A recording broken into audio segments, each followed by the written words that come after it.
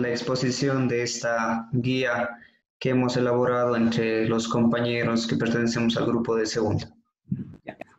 Bienvenido Bolívar, muchas gracias por el saludo. Estimados compañeros, esta es la eh, guía del círculo número 4 de la unidad 17, el círculo de conocimientos número 4, cuidados después de la siembra.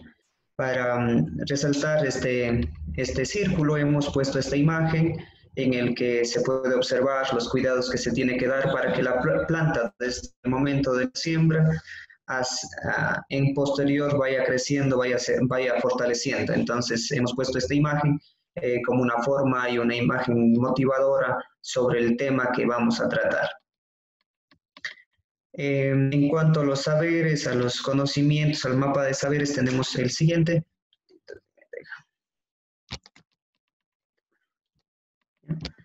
Tenemos eh, eh, estas, estos saberes que están priorizados de ciencias naturales, em, de lengua y literatura, matemáticas, ECA y educación cultural física. Tenemos en ciencias naturales características del Sol, Luna, Tierra, y relación entre ellas. En cuanto respecta a ciencias naturales, ciclo diario, mañana, tarde, mediodía, noche, en los seres vivos y en el ambiente. En lengua y literatura, textos orales y escritos a partir de palabras que contengan los fonemas bien para desarrollar el segundo y tercer momento del proceso de alfabetización eh, en la respectiva lengua de la nacionalidad. En cuanto a matemáticas, secuencias numéricas con números naturales hasta el número 20. ECA, eh, tenemos interpretación e imitación de expresiones corporales cotidianas de forma individual o grupal, danza, música o teatro. Tenemos en cultura física las maneras de participar en diferentes prácticas corporales que le hemos relacionado con eh, la actividad ECA, que serían las danzas. Los dominios en ciencias naturales conocen las características del Sol, la Luna y el planeta y su eh, y, así como su ciclo diario, las repercusiones, relación con la Tierra, em, con la vida de los seres vivos, diurnos, nocturnos, mediante relatos de sus experiencias. Estudios sociales participa en el cuidado de los productos que requieren mayor tratamiento para su crecimiento y desarrollo, lengua y literatura, como lo había dicho, los ponemos la P, la I y la E, ¿ya? Para poder trabajar y las reglas de, de, escritura. Uso de mayúscula y signos de puntuación que se va a tratar. Matemáticas reproduce patrones numéricos perdón, basados en sumas y restas, contando hacia adelante y hacia atrás. Y aquí hemos puesto un solo dominio, como les había mencionado, en tanto educación cultural y artística y educación física. Eh, practica la danza, música y teatro en diferentes escenarios de la comunidad, manteniendo viva su cultura. Dicho esto, conociendo los saberes y los dominios que se pretende durante este círculo de conocimiento, entonces pasamos al objetivo general, que es describir los conocimientos y prácticas culturales propias desde la experiencia para adquirir una actitud crítica en el proceso de aprendizaje, sobre todo valorando el cuidado y conservación de, nuestros, de nuestras plantas en la Pachamama. Aquí nosotros podemos partir del hecho, ejemplo, en nuestra realidad actual, de los numerosos incendios que tenemos y que hay que enseñarles a los chicos a valorar y cuidar y sobre todo conservar las plantas que son parte viva de nuestra Pachamama. Continuamos entonces con las actividades pedagógicas. En las actividades de censo-percepción comenzamos con observar las imágenes del cuidado después de la siembra. Hemos puesto esta imagen de riego para las plantas. Eh, por ejemplo, sembramos y nosotros tenemos que proceder al riego o eh, las lluvias que van haciendo que las plantas crezcan, vayan naciendo y creciendo. Aquí podemos observar los elementos propios de la naturaleza, el sol que brinda el calor, el agua, para que se desarrolle lo que es la vida y en cuanto se refiere a la siembra que se está realizando. A partir de eso vamos también eh, tomando ciertos elementos para em, ir tratando ya las actividades de senso-percepción, por ejemplo, eh, con, qué, con qué parte de nuestro cuerpo nos movemos para ir a regar. Entonces ya vamos eh, tratando de em, poner ya en, en, el ruedo lo que es la parte de, del pie, que es en lengua y literatura que vamos a ir haciendo. ¿ya? Continuamos con la, con la problematización. Dice, hemos hecho estas preguntas. Dice, ¿crees que será importante cuidar la siembra? Entonces aquí vamos dejando un casillero para que el niño responda en este momento tache o puede tachar o subrayar o pintar. Y también hacemos una pregunta y decir por qué. Volvemos reflexiva la pregunta para que el niño también eh, tenga argumentos para decir por qué es importante o no cuidar la siembra. Aquí tenemos otra, otro tipo de pregunta. Dice, ¿crees tú que después de sembrar debemos cuidar? Entonces hemos puesto unos casillos de siempre, casi siempre, a veces, nunca, para que el, el niño vaya marcando en el casillero que crea conveniente. Continuamos, dice, ¿con qué parte del cuerpo nos trasladamos hacia el terreno para realizar el cuidado después de la siembra? Entonces, lo que les decía sobre el pie, entonces aquí el chico va a ir diciendo el pie o ya nos va a decir en esta actividad de censo perceptiva a ver cómo responde. Y a partir de ese momento vamos relacionando eh, los contenidos tanto de ciencias naturales, ciencias sociales y lengua y literatura. Entonces aquí tenemos, hemos puesto ya eh, casilleros para que ellos eh, vayan poniendo donde correspondan, por ejemplo, rodillas, dedos, uñas, piernas, pies. Entonces el chico tiene que responder y poner una, un visto donde él crea conveniente. Procedemos, eh, procedemos a, a continuar.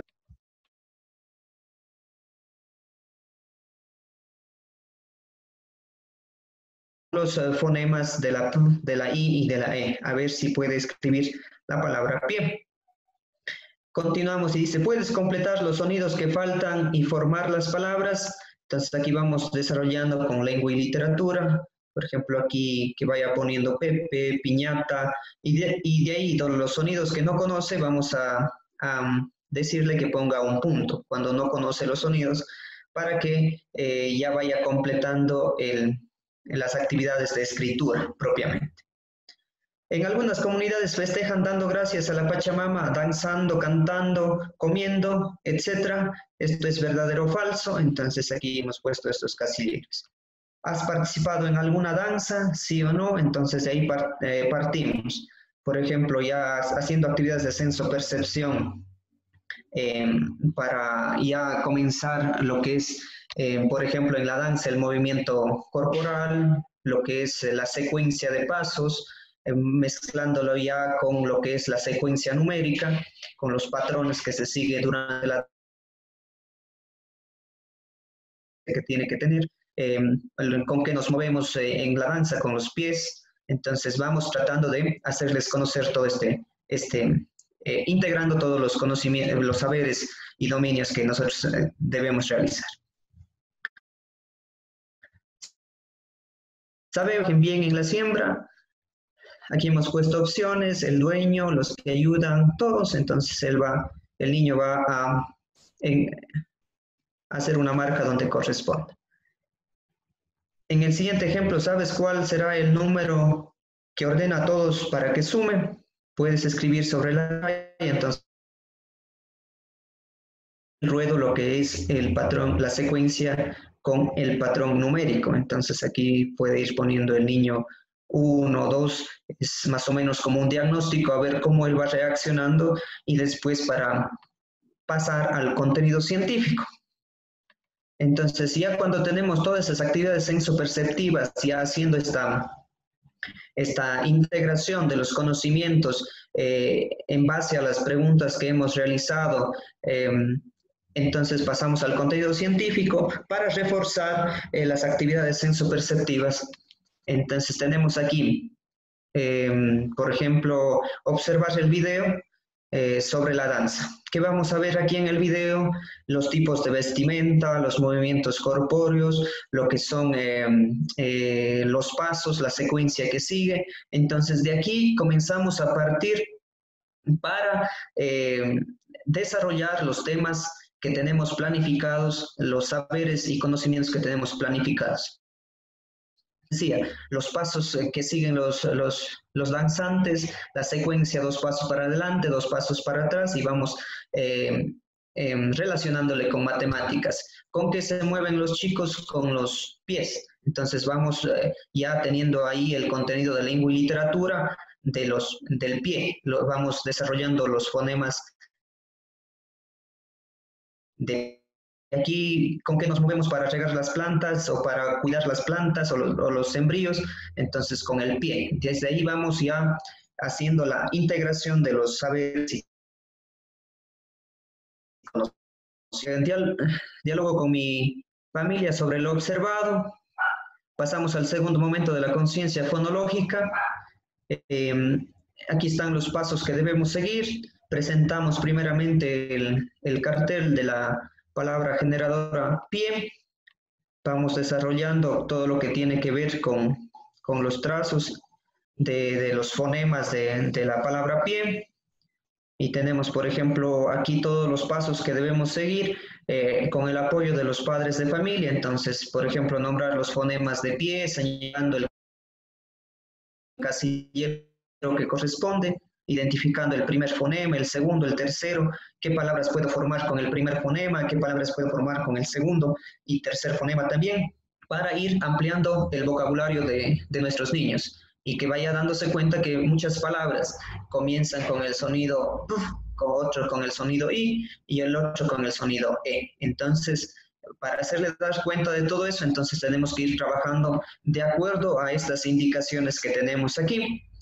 Eh, eh, también tenemos que ejercitar la direccionalidad para graficar la letra I, para graficar la, la, P, para graficar la E. Entonces, también añadiendo otras palabras, como decía, para ampliar el vocabulario del chico y, y que vaya dándose cuenta que muchas palabras contienen estos fonemas. No al principio, en la, puede ser al principio, en la mitad o al final, pero contienen estas, estos fonemas.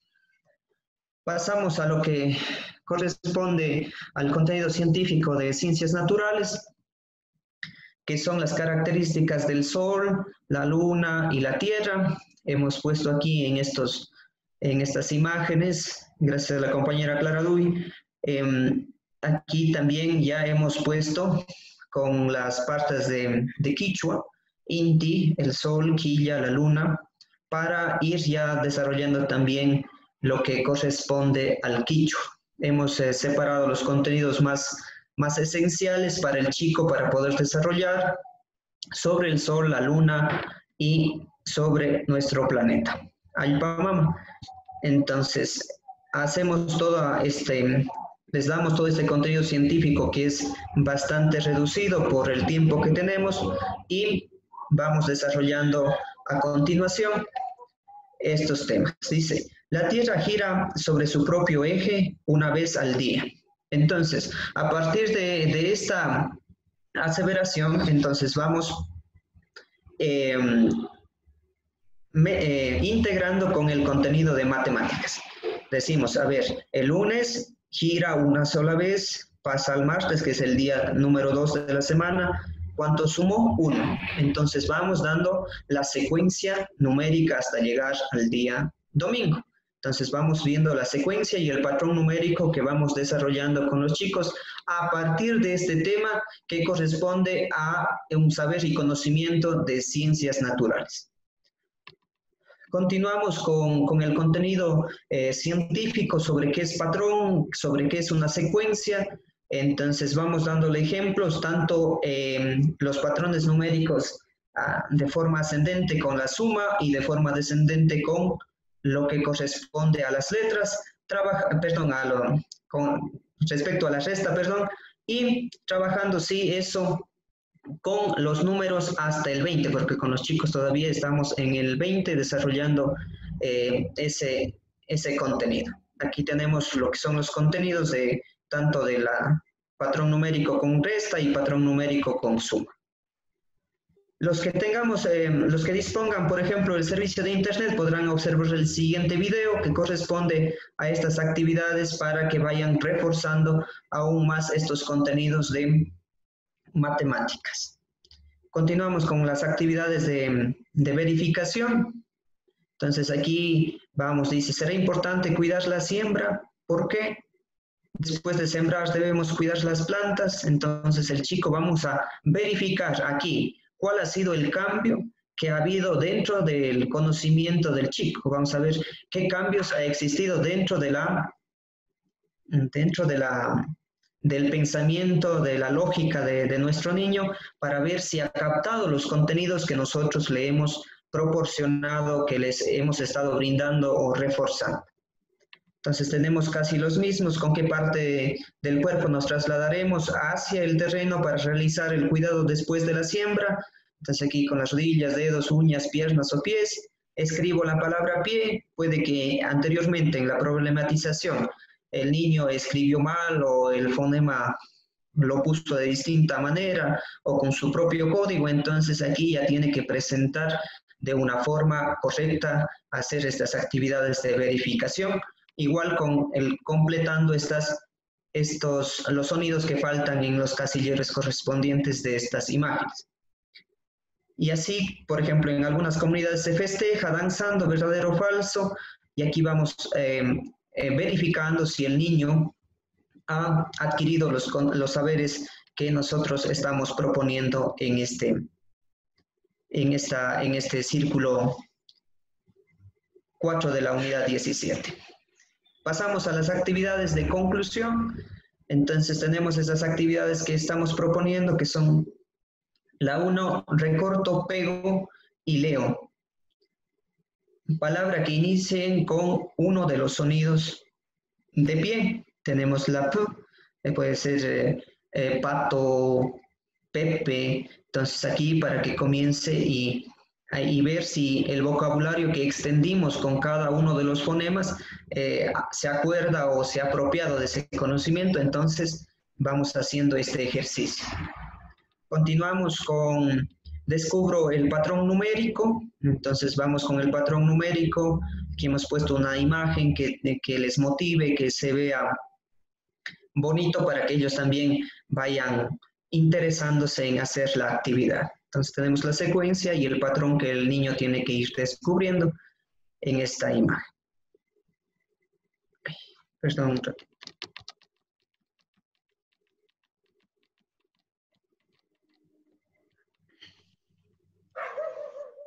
Continuamos con el miércoles, actividades de aplicación. Decoro con lana o hilo los sonidos de la palabra generador a pie siguiendo la direccionalidad. Entonces aquí hemos puesto estos casilleros para, para que pueda poner la palabra pie con sus respectivos fonemas. Y aquí hemos puesto también este ejemplo de la palabra pie para que el niño, practicando la direccionalidad, vaya haciendo con lana. Vamos haciendo con lana o con hilo, siguiendo la direccionalidad que debe seguir cada uno de los fonemas componen la palabra pie. Escribo las palabras representadas en los dibujos, entonces vamos trabajando niña, piña, pan, puma, dominó, nido, peine. ¿Ya? Entonces continúo, dice, menciono los dibujos, escribo en las casillas las letras de los sonidos que conozco. Pongo un punto en las casillas de las letras que todavía no conozco. Entonces aquí, por ejemplo, puerta, pirata, eh, sonido hay algunos sonidos que todavía no conocen, iguana, la todavía no conocen, entonces vamos haciendo y completando ya los sonidos que ellos conocen para ver si ya diferencian los sonidos. Esto es para diferenciar los sonidos que cada uno de los, eh, de los niños debe conocer para el proceso que estamos realizando de la lectura. Ordeno las letras y descubro las palabras, luego las escribo sobre la línea. Entonces aquí tenemos palabras con la, con la P, con la, con la I, entonces que comienzan con, ese, con esos sonidos con la, y para que el niño vaya descubriendo. Escucho la pregunta y escribe la respuesta. Entonces, aquí le pedimos a los padres la colaboración o si de repente están con nosotros durante un día de una jornada de trabajo, entonces dice, ¿qué hace el panadero? Entonces el chico me va a decir el pan. Entonces hacemos que ya vaya poniendo pan para ver cómo, cómo responde a ese tipo de, de situaciones. 6. Busco el patrón numérico y completo la secuencia. Entonces aquí ya hacemos eh, una secuencia de números y aquí ya dejamos para que vaya completando con el patrón numérico que corresponde para esto. Por ejemplo, aquí tiene que ir con el 2 más 2, tiene que ir sumando cada vez 2, 12, 14, 16 hasta llegar acá. Aquí tenemos 5, 10, 15, 20 y vamos subiendo el patrón que sería de 5. Realizo las sumas en la semirecta numérica, entonces aquí hemos puesto estos ejemplos. Eh, por ejemplo, dice 7, 7 más 3, ¿cuánto es? Son 10. Entonces aquí, está, aquí también dice 5, entonces corre la primera línea en la semirecta numérica y corre 6, casilleros más, 6 eh, lugares más y llega a 11. Entonces va completando la suma que está propuesta aquí. Em, continuamos y esto es para desarrollar la secuencia eh, y el patrón, un patrón más o menos establecido. También tenemos aquí estos ejemplos que corresponden al mismo de arriba para ir reforzando un poco más la suma que habíamos visto en el círculo anterior. Em, aquí también hablamos en la semirrecta numérica, pero en este, en este momento hablamos de resta. Subimos 8, Restamos 4. ¿Cuánto nos quedó? 4. Entonces así vamos desarrollando con los chicos para que vayan ubicándose en la semirecta numérica.